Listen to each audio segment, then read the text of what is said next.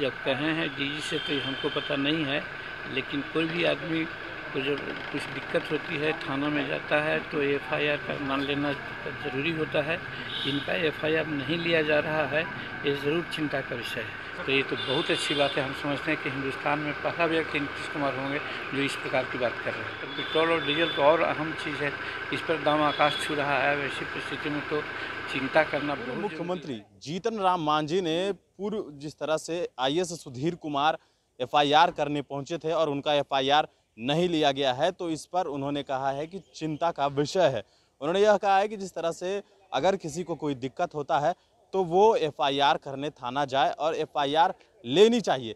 इतना ही नहीं, जिस तरह से कल विपक्ष ने महँगाई को लेकर जो है वो प्रदर्शन किया, इस पर भी सवाल किया गया तो उन्होंने कहा है कि विपक्ष का काम है जो है प्रदर्शन करना, लेकिन महँगाई का विषय जो है, उस पर हम लोग भी चिंता कर रहे हैं, क्योंकि लगातार जो महँगाई है, वो बढ़ रही है। और इस पर उन्होंने कहा है कि मुख्यमंत्री नीतीश कुमार सोच रहे हैं। उन्होंने कल कहा है कि जिस तरह से मुख्यमंत्री नीतीश कुमार का कल बयान आया है कि लगातार डीजल, पेट्रोल के दाम बढ़ रहे हैं तो कहीं ना कहीं इस पर हमने अभी तक सोचा नहीं है, लेकिन सोचेंगे ज़रूर। लेकिन जीतन राम मांझी ने कहा कि मुख्यमंत्री नीतीश कुमार इस पर सोच रहे हैं और विपक्ष का काम है प्रदर्शन करना, साथ ही साथ जो आई एस हैं, उनको लेकर जीतन राम मांझी ने चिंता ज़ाहिर की है। सुनिए उनका बयान।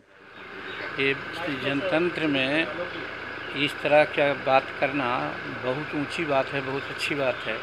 पुराने ज़माने में भी राजा होते थे तो बेस बदल करके जाते थे कि जनता को क्या तकलीफ़ है।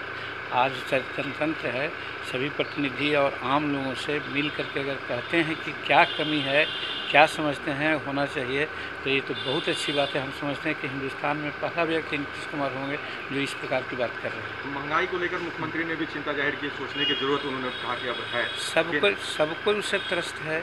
किसी चीज़ पर अगर की दाम बढ़ जाती है तो उसका असर सब तरह से पड़ता है। तो पेट्रोल और डीजल तो और अहम चीज़ है। इस पर दाम आकाश छू रहा है। वैसी परिस्थिति में तो चिंता करना बहुत ज़रूरी है। इसको भारत सरकार से भी हम लोग समझते हैं कि कुछ करना चाहिए। बिहार सरकार भी इस पर अगर कुछ चाहे तो करे तो अच्छा रहेगा। लेकिन चिंता की बात तो है कि दाम बढ़ रहा है। राज्य सर बात करिएगा सर जिस तरह से पेट्रोल डीजल की महँगाई मुख्यमंत्री रही और हम जैसे नहीं अगर महसूस करते तब ना बात करने की बात है। वो तो खूब महसूस कर रहे हैं। तो उनसे हम बात क्या करेंगे? हैं? अगर न महसूस करते तब हम कर सकते थे कि भाई जनता तरा रही है सब जगह ये लोग बोल रहे हैं हम आपको बोलना चाहिए करना चाहिए तो जब खुद बोल रहे हैं तो फिर करने की कौन विपक्ष भी कई बार हंगामा कर रहे हैं कल विपक्ष विपक्ष का है। विपक्ष का काम है वो अपना कर रहा है करना है उसका होना चाहिए उसमें हम लोग क्या करेंगे महँगाई को लेकर सर उन्होंने प्रदर्शन किया हाँ, निश्चित महँगाई के बारे में हम लोग भी बहुत चिंतित हैं कि आखिर इस तरह से बेतरतीब दाम कैसे बढ़ रहा है। सर ज़रूरत है कि राज्य को भी कुछ टैक्स में कमी करनी चाहिए अब उनके पक्ष के नीति- नीतीश कुमार सब कुछ सोच रहे हैं उन्होंने कहा भी है कि हम लोग को भी सोचना पड़ेगा। सर एक सवाल है सर एक राज्य के दलित आई हैं सुधीर कुमार जी वो थाने के चक्कर लगा रहे हैं वो डीजीपी से उन्होंने आवेदन दिया है कि मुझे जान का खतरा है। एफआईआर अभी तक दर्ज नहीं हुई तीन दिन हो गया सर।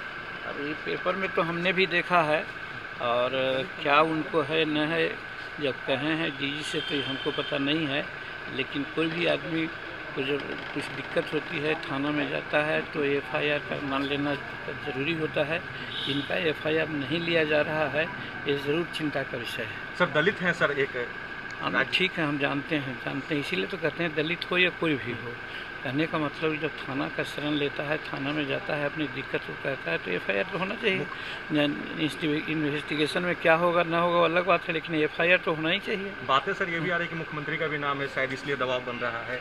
ने कहा कि दो नहीं, घंटे इस- तक इस- इसकी- थानेदार ने एफआईआर कॉपी लेकर इसकी जानकारी हमको नहीं है। चलिए लगाइए चलिए।